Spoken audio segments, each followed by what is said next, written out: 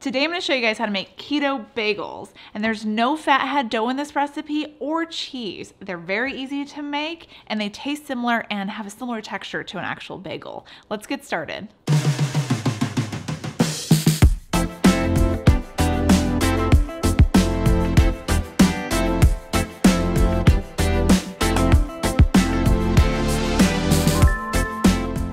Like I said, we're gonna be making keto bagels without using fathead dough. There's no cheese in this recipe and they really taste like a bagel. You can spread cream cheese on them, you can toast them, you can even make sandwiches out of them if you are really into breakfast sandwiches or lunch sandwiches. In fact, I'm gonna prep up some breakfast sandwiches today with these keto bagels and the help of my sponsor of today's video, which is Crowd Cow. Crowd Cow is a marketplace for high quality meats that creates a meaningful connection between the farmer and the customer so people can know and appreciate exactly where their food comes from. How it works is that you get to build your own box. You get to explore their selection of high quality beef, pork, chicken, seafood, and so much more. Everything is vacuum sealed, shipped at the peak of freshness, and delivered right to your door. Everything I picked out from Crowd Cow I wanted because I wanted to prep up a lot of these breakfast bagel sandwiches. So I got preformed sausage patties from Pederson Farms. I got bacon from them too. This is sugar-free bacon. And I even picked up some salmon. They sell salmon spread there too, which would be perfect over a bagel, especially if you like salmon with your bagel. They have a huge selection of high quality meats. All of them are antibiotic free, there's no hormones, and you can choose from pasture raised or grass fed as well. If you guys are interested in getting great tasting, high quality meats from Crowd Cow, then just click on my link below. New members can get $100 off free meat plus free shipping if you sign up. I'll have that link in the description box below for you. You can become a new member for free and get 5% off everything you put in your box. This is a limited offer, so make sure you act fast. Now let's make some bagels. To get started, we're gonna start with a large mixing bowl and add in our dry ingredients. You're gonna need one cup of almond flour, a quarter cup of unflavored low carb protein powder. I'll have my favorite listed down below in the description box. And then to give these bagels like that chewy sort of texture, I'm gonna add in some inulin powder. So this is two tablespoons of inulin powder. If you don't wanna use inulin powder because you don't wanna just go out and get another ingredient or maybe it causes digestive problems because I mean, inulin powder is a prebiotic. It's good for you, but sometimes it can upset some people's stomachs. Um, so if you don't want to use that, then just go with 100% almond flour. Use a one and a half cups of almond flour for this recipe and completely omit the inulin powder. I also experimented with adding in lupin flour in this recipe. So if you're curious and want to try that, I'll have that listed down below in the description box. You'll also need one and a half teaspoons of baking powder, one teaspoon of xanthan gum, one teaspoon of brown sugar-free sweetener. You can use whatever sugar-free sweetener you want. I'm using the golden one.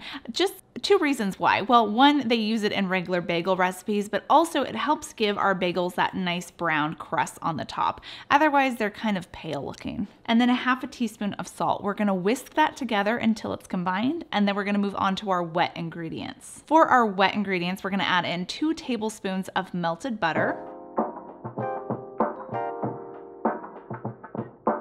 and two tablespoons of hot water.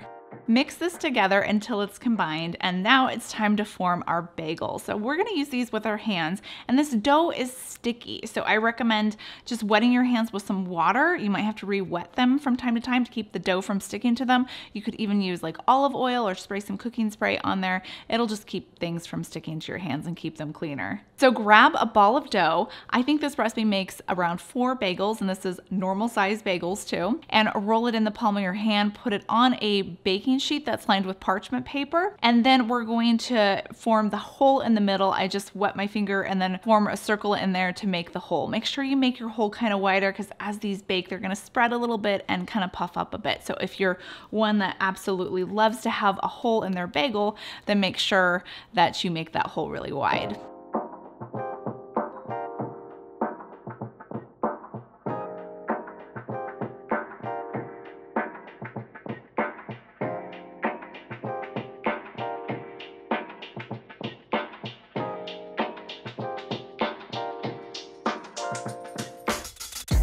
And then we're gonna bake these in a 375 degree oven for around 10 minutes, maybe a little bit longer if you like them pretty um, crunchy on the on with the crust side. Take them out of the oven, let them cool, and now you're done. And we can make our breakfast sandwiches. Like I said, I'm gonna be using some of those pre-made sausage patties from Pederson Farms, along with their sugar-free bacon. These were both delicious. And then on another one, I'm gonna make up some salmon bagels with that salmon spread.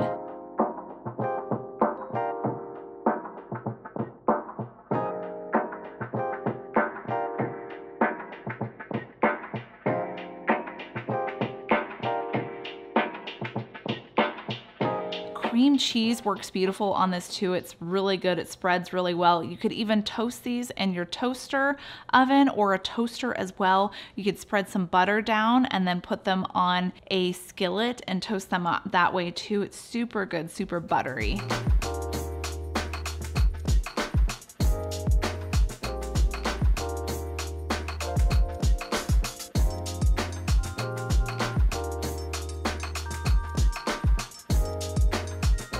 This is a great recipe to meal prep. You can make these for breakfast. You got a breakfast for four days out of the week at least, or just make them and freeze them if you want to, so you can pull them out and have them whenever you need to. Once again, thank you Crowd Cow for helping me make these delicious breakfast bagel sandwiches. Remember, I'll have that link down below in the description box if you guys are interested in trying them.